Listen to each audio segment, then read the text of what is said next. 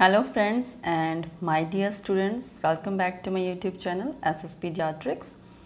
my today's topic which is I am going to discuss with you is diarrhoea diarrhoea को हम हिंदी में कहते हैं दस्त. और ये एक ऐसी बीमारी है जो हमें यूजली बच्चों में देखी जाती है। बच्चों को हम देखते हैं कि बच्चों को दस्त लग जाते हैं।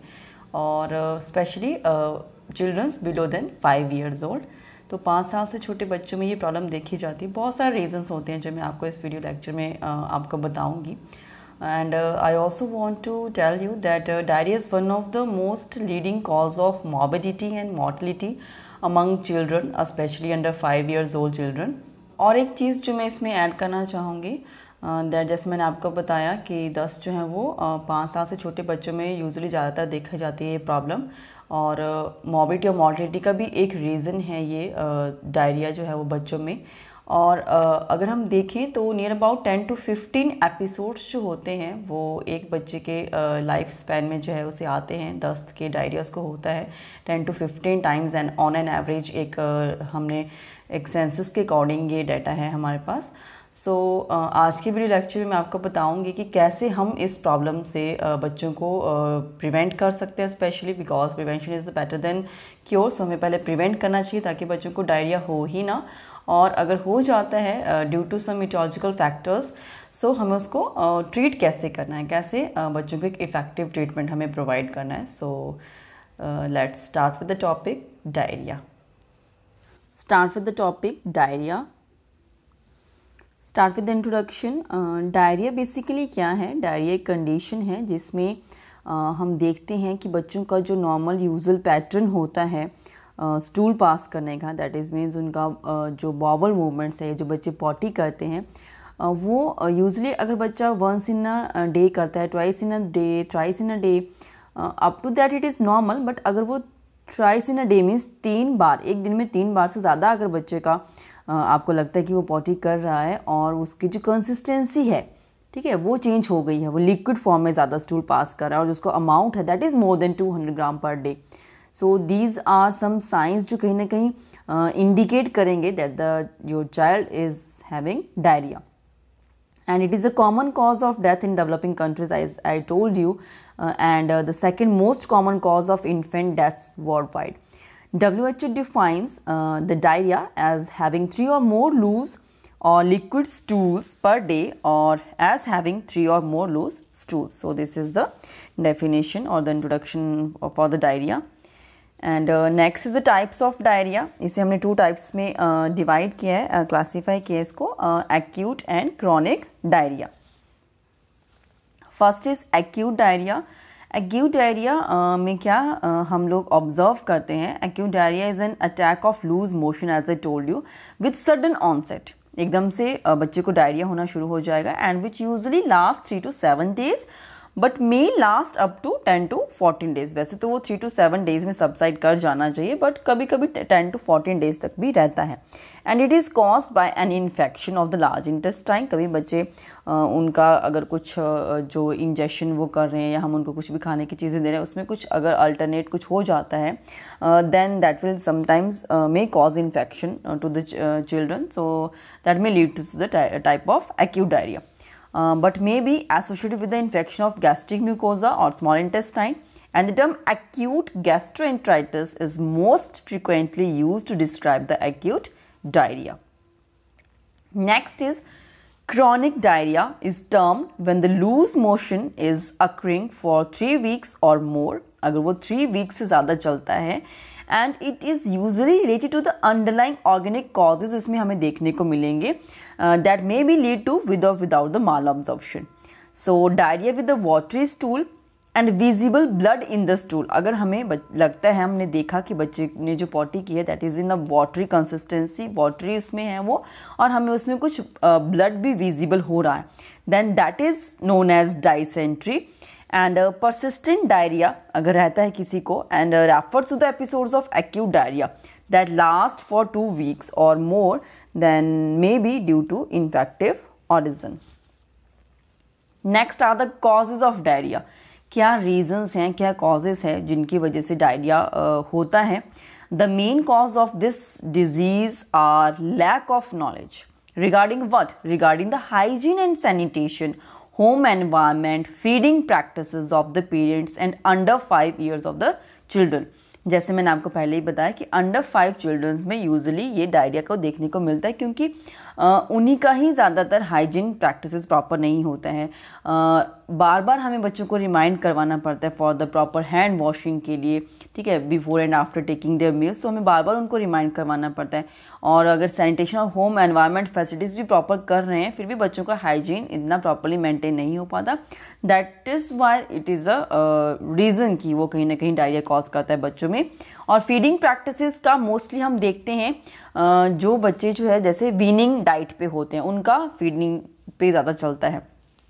It can be cause by chronic ethanol injection sometimes and chronic mild diarrhoea in in infants and toddlers में occur with no obvious cause and with no other ill effect this condition is called toddlers diarrhoea Incidence uh, about one third of total hospitalized children are due to diarrheal diseases and 17% of all deaths in Indo-pediatric patients are related to this condition. The morbidity rate in terms of diarrhea episodes per year per child under the age of 5 years is about 1.7. Next are the agent factors. Okay, what are those agents which were responsible for causing the diarrhea among the children? A large number of organisms are responsible for the acute diarrhea and uh, infectious agents which usually causing this diarrhea with the enteric infection include such as virus में अगर हम देखें कौन कौन से type के viruses होते हैं which were responsible for causing the diarrhoea first is rota virus adeno virus entero virus nova group viruses measles virus etcetera then bacteria हमारे पास होते हैं, ठीक है कैम्फेलो बैक्टीरिया जिजुना इकोलाइसिस साल्मोनीला कॉलरा विब्रियो ठीक है दिस बहुत सारे टाइप्स के बैक्टीरिया होते हैं जो समवेयर रिस्पॉन्सिबल होते हैं फॉर कॉजिंग द डायरिया ठीक है पैरासाइट्स होते हैं हमारे पास फंगई है। Then reservoir of infection man is the main reservoir of enteric pathogen so the most transmission जो ऑरिजिनेट्स होता है from human factors for some enteric pathogens and viral agents animals are also somewhere important reservoir for this type of जो भी ये bacteria virus और ये जो agents हैं, इनको एक ह्यूमन का या एनिमल का बॉडी चाहिए होता है for reservoiring that particular infection उनकी अपनी साइकिल को, अपने एग्स को ले करना और उनकी अपनी साइकिल को आगे कंटिन्यू करना इन्फेक्शन को ट्रांसमिट करने के they somewhere need some reservoir so in that case man और some animal bodies responsible for और acting as a reservoir host factors the disease is most common specially between six months to two years and the incidence is higher during the weaning period that is six to eleven month of age and uh, जैसे मैंने कहा कि uh, ये basically क्यों होता है? Uh, अगर आपको इसका और ज़्यादा इन्फॉर्मेशन चाहिए तो विनिंग डाइट के ऊपर मेरा एक वीडियो लेक्चर मैं ऑलरेडी अपलोड कर चुकी हूँ अपने चैनल के ऊपर। आप वहाँ पे देख सकते हो कि क्या क्या प्रिंसिपल्स होते हैं जो बेसिकली हमें फॉलो करने पड़ते हैं जब भी हम बच्चों को विनिंग डाइट पे डालते हैं। ठीक है? या बच्चे जो हैं वो हमने उनको आर्टिफिशियल फीडिंग पर डाला हुआ है। सो so, समवेयर हमारा जो प्रिंसिपल्स हैं या फ़ीड प्रेपरेशन का है ठीक है फ़ीड स्टोरेज का है और उसके जो प्रिंसिपल्स हैं जो बच्चे को कैसे फ़ीड देना है प्रिपेयर कैसे करना है हाइजीन प्रैक्टिसेस क्या क्या यूज़ करनी है sanitation of the articles feeding articles is the most important things ठीक है? सो ये सब चीज़ों के रिगार्डिंग आप वहाँ से मेरा लेक्चर अटेंड कर सकते हो। It occurs due to combined effect of reduced maternal antibodies, lack of active immunity and introduction of contaminated food. Or direct spread through child's hand. As i told you uh, maternal antibodies कम है। Mother की body में और बच्चे को अगर breast feed भी करें तो बच्चे की बॉडी में भी लैक ऑफ़ इम्यूनिटी उस टाइम पे होती है। बट सम वे जैसे मैंने कहा कि इन केस ऑफ़ वीनिंग और आर्टिफिशियल फीडिंग पे अगर बच्चे हैं तो हम उनको कॉन्टेमिनेटेड फ़ूड दे रहे हैं due to some reason lack of knowledge और अवेयरनेस की वजह से। ठीक है? तो वो हो सकता है या बच्चे का ही खुद का हाइजेनिक प्रैक्टिस प्रॉपर नहीं है। Diarrhea is more common in artificial feeding, as I told you, especially with contaminated cow's milk or unhygienic preparation of tin milk. Malnutrition leads to infected leads to infection, and that is also and that infection leads to the diarrhea. The predisposing factors of diarrhea include prematurity, immunodeficiency conditions, lack of personal hygiene inadequate food hygiene infant feeding practice proper नहीं है illiteracy है lack of knowledge है awareness नहीं है, या poor socio economic status है। Environmental factors uh, bacterial diarrhea is more frequently occur in the summer or the rainy season अगर environment वैसा है summer और rainy season तो उस टाइम पे जो है वो ज़्यादा बैक्टीरियाज ग्रो करने का टाइम uh, पीरियड होता है तो वहाँ पे इसीलिए बच्चों को यूजली ज़्यादा हो सकता है और वायरल डायरिया जो वायरस का अटैक हो वो यूजली हम विंटर सीज़न में देखते हैं So mode of transmission, it is uh, mainly fecal-oral route and it is waterborne, foodborne disease or may transmit via fingers, fomites flies dirt के through भी हमें ये चीज़ हमारे जो वेरियस जो एजेंट्स हैं डायरियल एजेंट्स वो हमारी बॉडी में एंटर कर सकते हैं। Next are the clinical manifestation what are the signs और जो हम नोट करेंगे कि this particular child is having diarrhoea stools are usually loose water in consistency. It may be greenish or yellowish in color with offensive smell and uh, it may contain mucus, pus, blood और may expel with the force preceded by the abdominal pain अगर बच्चा complain करता है cry करता है फिर stool pass करा वो भी liquid watery stool with some green colour का या येलोइश ग्रीन कलर का बहुत ही ऑफेंसिव स्मेल स्टूल से आ रही है and uh, frequency of stools varies from 2 to 20 per day or more. The child may have low grade fever just because उनकी infection की वजह से होता है तो sometime the child is may having uh, fever, thirst, anorexia और behavioral changes like irritability, restlessness बच्चा feel करता है weak feel करेगा lethargy, sleepiness ठीक है delirium, stupor ठीक है तो इस type के signs बच्चा show कर सकता है and physical changes like loss of weight poor skin turgor dry mucous membranes dry lips pallor sunken eyes जो हमारे पास डिहाइड्रेशन सम फिर उसके साइंस जो है वो उसकी बॉडी पे अपीयर होना शुरू हो जाएँगे। हम उनको नोटिफाई कर सकते हैं। And depressed fontanelle which is one of the sign of the dehydration vital signs are change as low blood pressure tachycardia rapid respiration cold limbs and collapse decreased or absent urinary output, convulsions and loss of consciousness may also present in some children with the diarrheal diseases. Next is the diagnostic evaluation. History taking and physical assessment जो हमें सबसे पहले करना चाहिए properly assess कर properly history लो बच्चों, कब से डायरिया है, पहले हुआ था, कितने टाइम से है, किस टाइप का स्टूल बच्चा पास कर रहा है, वो सब चीज़ें और बाकी उसका फ़िज़िकल साइंस हम उसकी बॉडी में नोट डाउन करेंगे। Stool examination can be done for routine and microscopic study and identification of positive organisms and a blood examination can be performed to detect electrolyte imbalances or acid base disturbances or hematocrit values. We can usually check all these examinations. Next is the assessment of dehydration so assessment of dehydration जो यहाँ पे ये chart आपको show किया गया है, ये same जो चीज़ें हैं, वो मैं ऑलरेडी एक्सप्लेन कर चुकी हूँ अपना I M N C I का एक मैंने वीडियो अपलोड किया है, वहाँ पे ये मैंने बहुत ही अच्छे से एक्सप्लेन किया है regarding the assessment of dehydration तो जो भी मेरे व्यूअर्स हैं जो इस चीज़ को सुनना चाहते हैं, वो मेरा I M N C I वाला वीडियो लेक्चर बहुत ही अच्छे से आप वहाँ पर सुन सकते हैं। Next is the management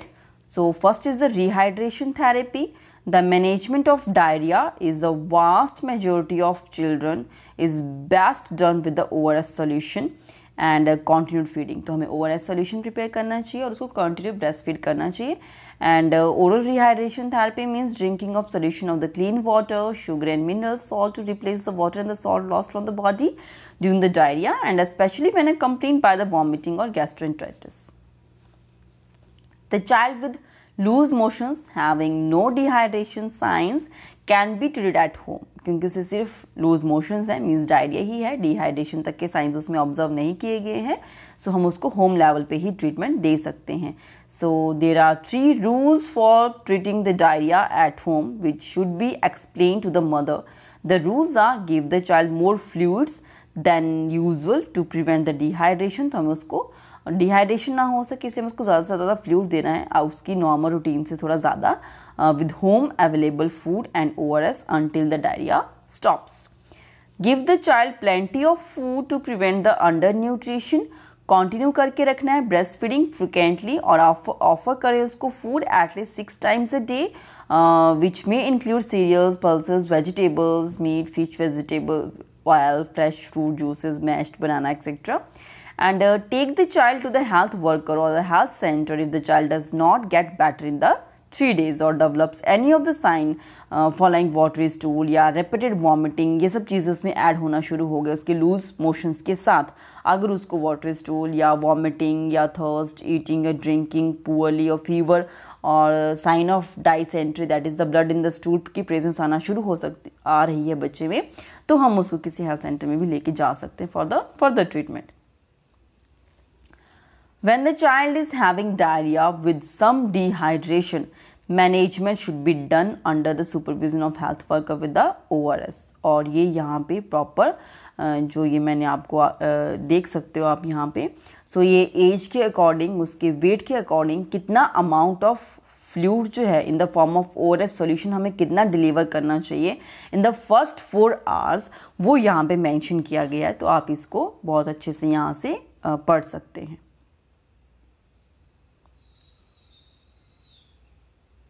So next after four hours तक हमने ये दिया, जो प्रीवियस चार्ट में एक्सप्लेन किया गया कितना कितना अमाउंट ऑफ़ फ्लूड देना है then after four hours of this rehydration therapy the child should be reassessed for the degree of dehydration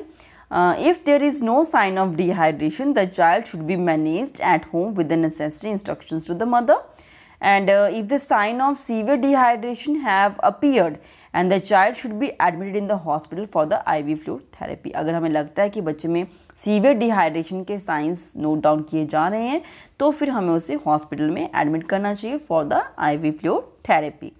during O R S therapy if the child is having puffy eyelids उसका लग रहा है swelling सी eyelids लग रही हैं आपको उसके face पे अगर आप देखते हो, और ओ आर एस सोल्यूशन जो है should be stopped and plain water and breast feeding हमें वहाँ पे कंटिन्यू कर देना चाहिए।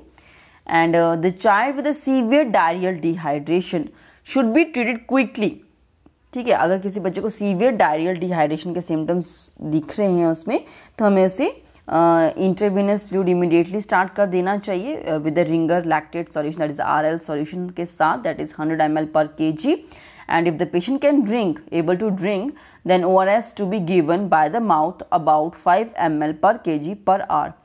Ringer lactate to be infused at first 30 ml per kg per hour and then 70 ml per kg in 5 hours for infants. In older children, it should be given first 30 ml per kg in 30 minutes and then 70 ml per kg in 2.5 hours. And the patient should be reassessed every 1 to 2 hours. Bacterial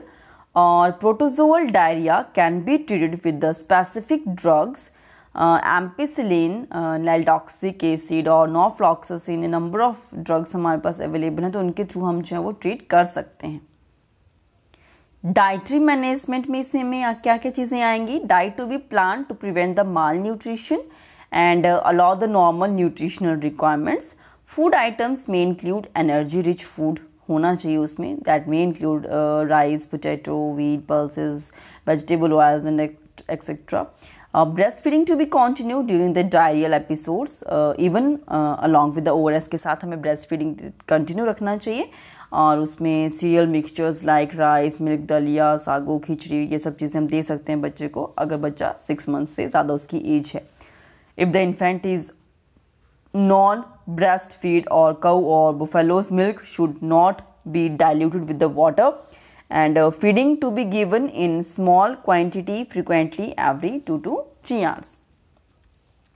The important nursing diagnosis uh, which includes uh, fluid volume deficient related to the diarrhea and uh, risk for cross infection related to the infective loose motions, potential to alter skin integrity related to the frequent passage of stools altered nutritional status less than the body requirement related to malabsorption and poor oral intake and uh, fear and anxiety or knowledge deficient. So, nursing interventions for this uh, restoring fluid and electrolyte balance by ORS और IV fluid therapy के through और हमें intake output recording reporting से properly maintain करना चाहिए along with the uh, having uh, a proper uh, or look on the prevention of the spread of the infection by the good hand washing practices hygienic disposal of the stools care of the diapers general cleanliness and the universal precautions and uh, preventing skin breakdown by the frequent change of the diaper keeping the panel area dry and uh, cleaning avoiding stretching and rubbing out the uh, irritated skin and the use of the protective barrier cream. Providing adequate nutritional intake by appropriate dietary management, reducing fear and anxiety by the explanation, reassurance and answering the question जो भी caregiver पूछते हैं उनके mother father जो भी caregivers हैं बच्चे के साथ, ठीक है? तो हमें उनका फील एंड एंगजाइटी को रिड्यूस करना चाहिए, उन्हें प्रॉपर एक्सप्लेनेशन देना चाहिए बच्चे का करंट स्टेटस क्या है, उसका हेल्थ कंडीशन क्या है, क्या इंप्रूवमेंट उसमें हो रहे हैं और क्या चीज़ें उसको प्रॉपरली देना है। We have to educate the parents regarding how to we have to prepare the O R S solution how to we have to give the proper amount of the O R S solution to the child proper dietary management के बारे में उन्हें बताएँ, ठीक है? So, giving the health education for the prevention of diarrhea which is the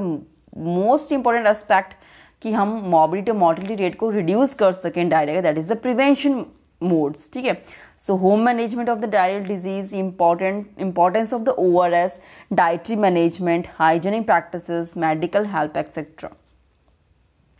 next is the preventive measures बहुत सारी चीज़ें मैं आपको पहले ही इनमें एक्सप्लेन कर चुकी हूँ कि हमें फ़ूड हाइजीन को इम्प्रूव करना है एनवायरमेंटल हाइजीन जिसमें सेफ़ वाटर या सीवेज डिस्पोजल का हैंड वॉशिंग क्लीनलीनेस जो होता है फ़ूड प्रेपरेशन के टाइम पे, वो सब चीज़ें और बॉटल फीडिंग को जितना हो सके हम उसको अवॉइड करें। अगर फिर भी हमें देना पड़ रहा है तो sterilisation of the feeding articles के ऊपर प्रॉपर ध्यान दें प्रॉपर बॉयल करें उन्हें, ठीक है? And prevention of low birth weight baby and prematurity के लिए हम एक्सक्लूसिव ब्रेस्ट फीडिंग करें। विनिंग प्रैक्टिस हमारी अप्रोप्रिएट होनी चाहिए। बैलेंस डाइट हम बच्चों को दें और जो भी उनका इम्यूनाइजेशन शेड्यूल के अकॉर्डिंग इम्यूनाइजेशन होता है, वो प्रॉपरली हम उनको दें। कॉम्प्लिकेशंस uh, जो डायरिया की वजह से हो सकती हैं that is the dehydration hypovolaemic shock renal failure paralytic ileus thromboembolism convulsions over rehydration and hypoglycaemia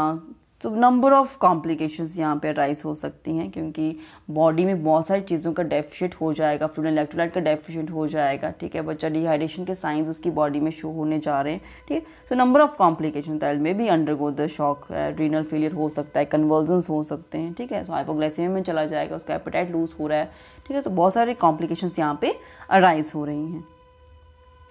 Prognosis Mortality is higher in the neonate and the infant than the older children and uh, malnourished children are having poor prognosis and the greater mortality rate and uh, antibiotic resistant type E. coli and Shigella cause the very severe illness and the poor prognosis and the presence of the severe dehydration, electrolyte imbalance and the pneumonia have poor. So this is all about my today's topic that is diarrhea. I hope आपको content समझ में आया होगा diarrhoea का। बहुत ही